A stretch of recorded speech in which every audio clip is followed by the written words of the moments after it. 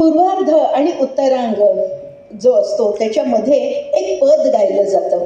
आणि ते पद गायलं जातं आर्या या ते पद गायलं जातं त्या पदाच्या ऐवजी आज एक छोटीशी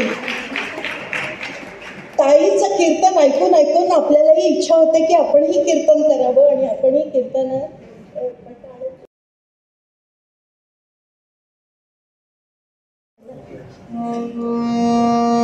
सर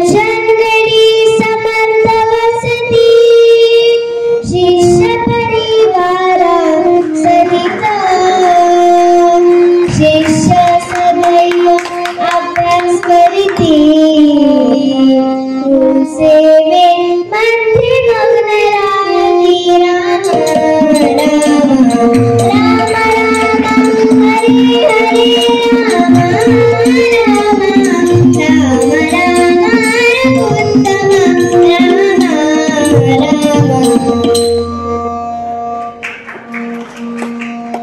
सज्जनगडावर समर्थ रामदास आपल्या शिष्य परिवारासह राहत होते. शिष्य पहाटे उठायचे. जोर बैठका सूर्य नमस्कार व्यायाम करायचे.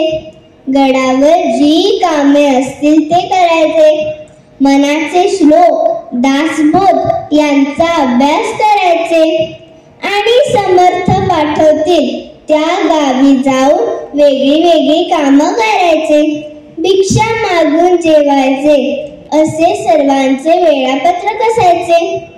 जी भिक्षा मिळेल किंवा जे गडावर जेवण असेल तेच सर्वांना खायला लागायचं. मात्र सर्व शिष्यांचे लक्ष एका शिष्याच्या खाण्यावर असायचंच. आपापसात ते म्हणाले गुरुदेवांचा लाडका आहे ना? मग त्याचे लाड होणारच. त्याच्यासाठी खास खाऊ असणारच. काय होता तो खाऊ? ओली डाळ. आणि गुळ म्हणजे गोड पूर्णच ना मंडळी रोज त्या शिष्यासाठी तयार असायचंच. सर्वांनी त्याचं नाव डाळ गप्पूस ठेवलं होतं. सर्वांचीही कुजबुज. बोलणं समर्थांच्या कानावर आले. एके दिवशी समर्थांनी सर्वांना एकत्र बोलवलं.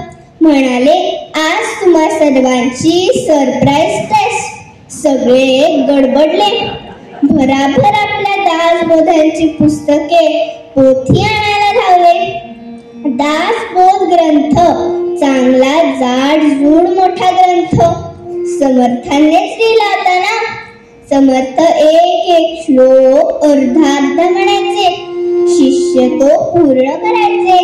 त्याच्यासाठी त्यांना पुस्तकातून शोधण्याची परवानगी होती.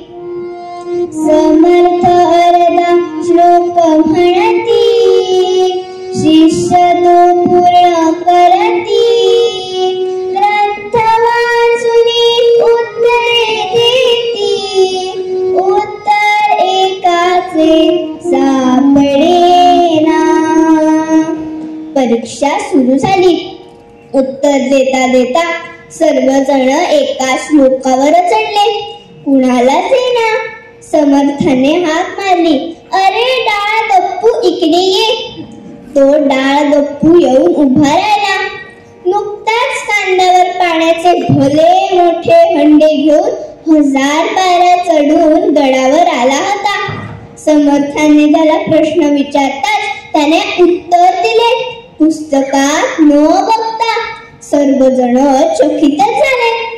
समर्थ म्हणाले फक्त त्याचे खाणे बघता. कष्ट नाही बघत. मला गळावरचे विहिरीचे पाणी सोसत नाही. म्हणून तो डोंगर उतरून उरमोडी नदीवरचे पाणी आणतो.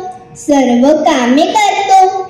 सांग बाबा डाळ म्हणजेच कल्याणा. तुला उत्तर कसं आलं? कल्याणाने उत्तर दिलं. गुरुदेव दासबोध तुम्ही सांगितला होता? तसा मी लिहून काढला. तेव्हाच पाठ करत होतो. रोज डोंगर चढताना उतरताना मी मनातल्या मनात त्याची उजळणी म्हणजे रिव्हिजन करत असतो. गडावरही खूप काम असतं. बसून वाचायला वेळ नसतो. डोक्यात मात्र अभ्यास चालू ठेवतो. समर्थ सर्वांकडे बघून म्हणाले इतके कष्ट तो करतो. म्हणून त्याला खास डाळ आणि गूळ दिला जातो. तुम्ही त्याचे खाणे बघता पण कष्ट आणि अभ्यास नाही बघत. काहीही शिकवले की तो लक्ष देऊन ऐकतो. ते परत परत आठवत राहतो. म्हणून त्याचा अभ्यास पक्का होतो. त्याच्यासारखे व्हा मग हवी तेवढी डाळ गुळ खा. कल्याण उत्तम शिष्य तो लेखन बुद्धिमान गुणी तो गुरु सेवेसाठी कष्ट करीतो. जगी हो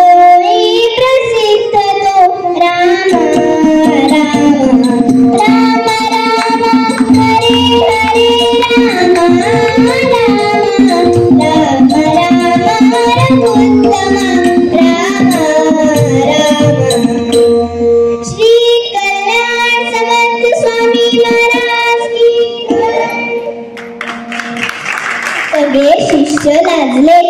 त्यांनी कल्याणाची क्षमा मागितली आणि परत त्याला डाळ गप्पू म्हणून चिडवले नाही. त्याच्यासारखेच व्हायचे असे मात्र ठरवले. मंडळी आपण पण कल्याण स्वामी सारखेच होऊया. एकाग्र चित्तानं अभ्यास करूया कष्ट करूया मोठे होऊया. सदा देव काळजी जिजे देह जाचा सदा राम नामे वदे नित्य वाचा स्वधर्मेची चाले सदा उत्तमाचा. जगी धन्य तो दास सर्वोत्तमाचा. जय जय रघुवीर समर्थ